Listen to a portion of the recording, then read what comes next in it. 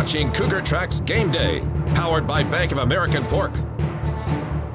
All right, we're here at the stadium, and of course, after the big game, 20 to 19, classic score, Dave Noriega. At the very least, it's a classic score of the rivalry game. 20 to 19, the two-point conversion didn't just end up being the decision, uh, the, the deciding factor, but it also ended up being the thing that everybody and their dog had a comment about after the game.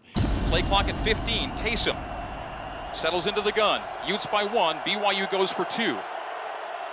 Brown motions. Snap Hill. Wildcat. Taysom quarterback draw. Caught at the three-yard line. He goes down. Boy, oh boy, they had no blocking at all in that gap. And 20 to 19 is your score. That's going to be the thing that everybody's going to talk about this game always, forever with. Yeah, and, and one of the things that really stood out to me is I was there for the the seven six game at Boise. I Me mean, too. we were we were Yeah. both there, and, and there was a lot of discussion about there was Taysom Hill again coming up short. But this is this is why I liked it in this situation. Bronco made that decision in Boise last minute. Kalani knew he wanted to go for two from the get go. He said in his press conference that was always the plan. That's why you saw after the touchdown, nobody left the field. They just looked to the sidelines for the play. Now the the question I had is I, I agree I would, agreed with that call. As soon as the timeout happened. And, and Utah had a chance to set their defense. Then I would have kicked the. Then you the- start thinking extra about it. point. Yeah. What would you have done? I, I was Kick it? I was no no no I was totally with Kalani Sitake after the game. I say I'm not only was I confident that they should do it, I said do it again because when are you going to get what has your offense been doing so efficiently all game suddenly? There's it was the same thing with the Boise drive. I was I agreed with that call too because you had really Three yards to get a win. yeah, and, and you put yourself in that position, but not that often all game long. So if you're three yards away from a win, I'd take that. But And also, don't forget that, that that defense was dead. They were done. It had been an 11 minute, 20 plus play drive. They were they were exhausted. So to to consider putting uh, extra time and overtimes on top of it, I think three yards make a play. You have the momentum. I like the call, uh, but after Utah was able to reset after the timeout, I think I probably would have kicked it because uh, they were just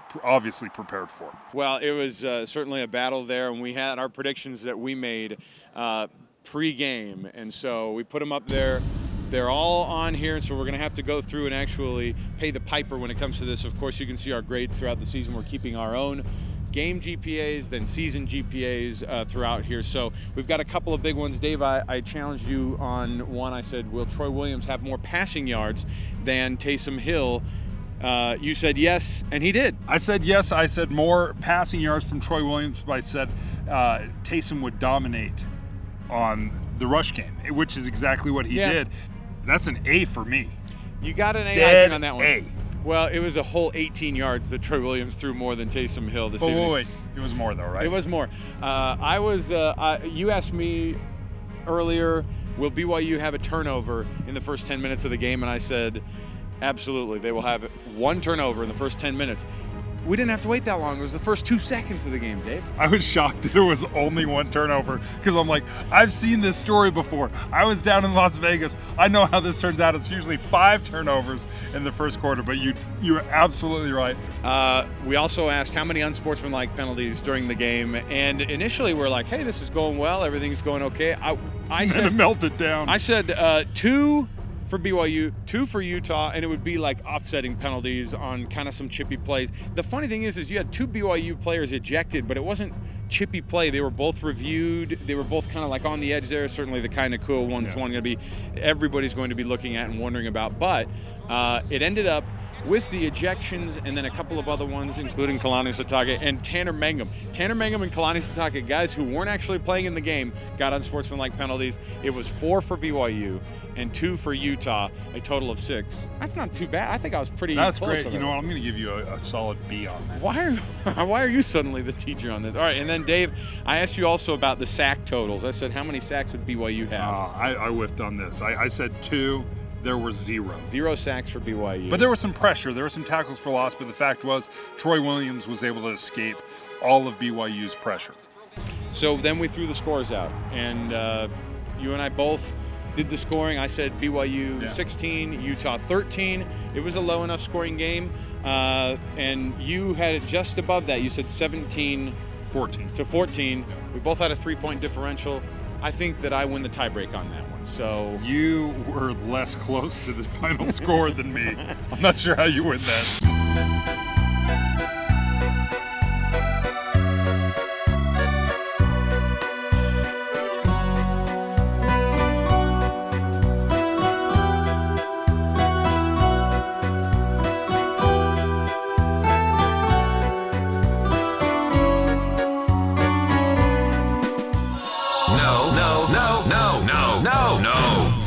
No, no, no. One of our favorite segments, of course, where we talk about the things that we absolutely, not only did we not like it, but we never ever want to see it again.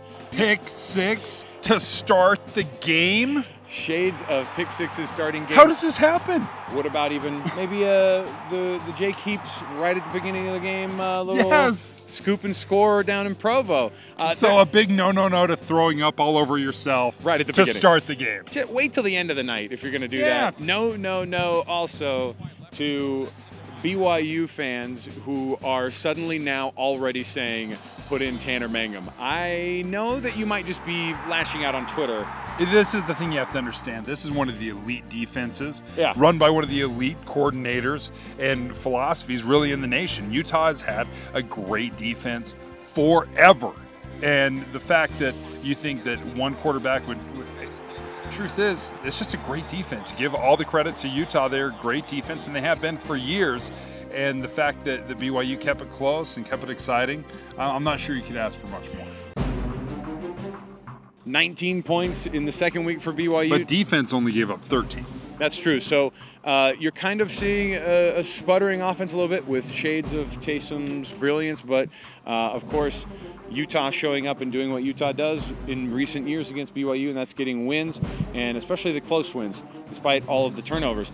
Next week, UCLA, who got the win today against UNLV, 42 to 21 down in California. They come to Provo. That should be another Pac-12 matchup for BYU, and uh, hopefully it goes the Cougars' way. For Cougar Tracks Game Day, Alex Kirry, Dave Noriega. Cougar Tracks Game Day is powered by Bank of American Fork. Big city banking, small town service.